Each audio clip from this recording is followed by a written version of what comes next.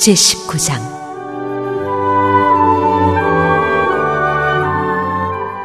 호렙산의 엘리야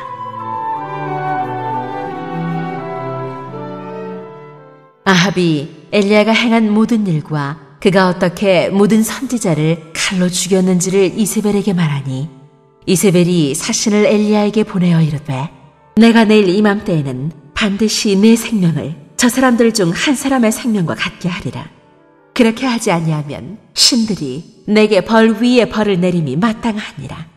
한지라 그가 이 형편을 보고 일어나 자기의 생명을 위해 도망하여 유다에 속한 부엘세바에 이르러 자기의 사관을 그곳에 머물게 하고 자기 자신은 광야로 들어가 하루 길쯤 가서 한 로뎀나무 아래에 앉아서 자기가 죽기를 원하여 이르되 여호와여 넉넉하오니 지금 내 생명을 거두시옵소서 나는 내 조상들보다 낫지 못하니이다.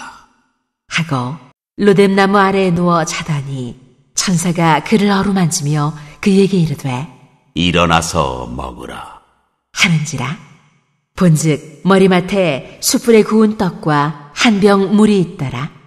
이에 먹고 마시고 다시 누웠더니 여호와의 천사가 또다시 와서 어루만지며 이르되 일어나 먹으라 네가 갈 길을 다 가지 못할까 하노라. 하는지라? 이에 일어나 먹고 마시고 그 음식물에 힘을 의지하여 40주 40야를 가서 하나님의 산 호렙에 이르니라. 엘리야가 그곳 굴에 들어가 거기서 머물더니 여호와의 말씀이 그에게 임하여 이르시되 엘리야야 네가 어찌하여 여기 있느냐?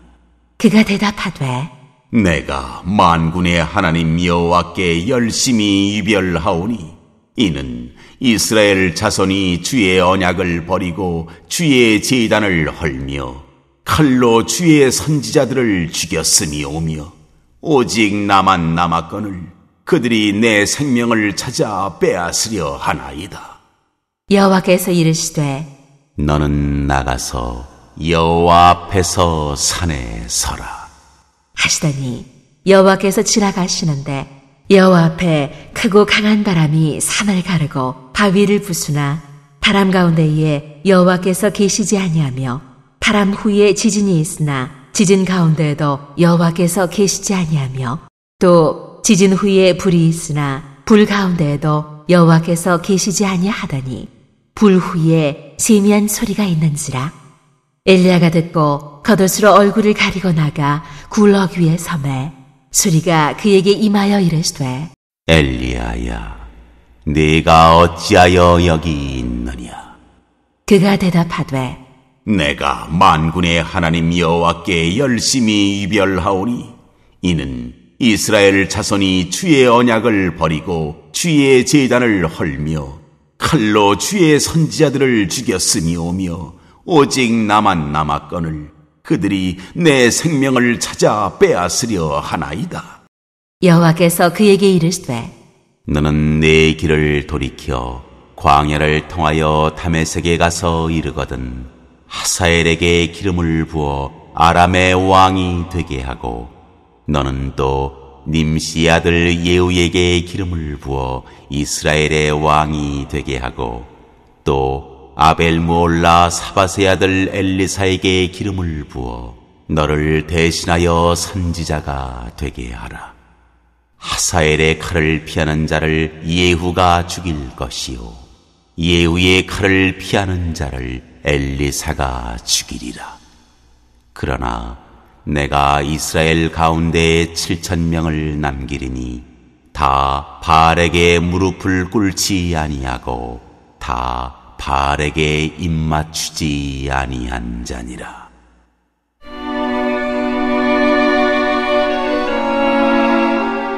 엘리야가 엘리사를 부르다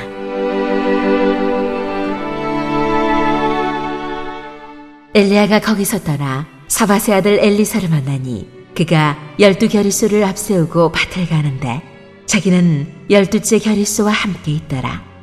엘리야가 그리로 건너가서 겉옷을 그의 위에 던졌더니 그가 소를 버리고 엘리야에게로 달려가서 이르되 청하건대 나를 내 부모와 입맞추게 하소서. 그리한 후에 내가 당신을 따르리이다. 엘리야가 그에게 이르되 돌아가라. 내가 네게 어떻게 행하였느냐?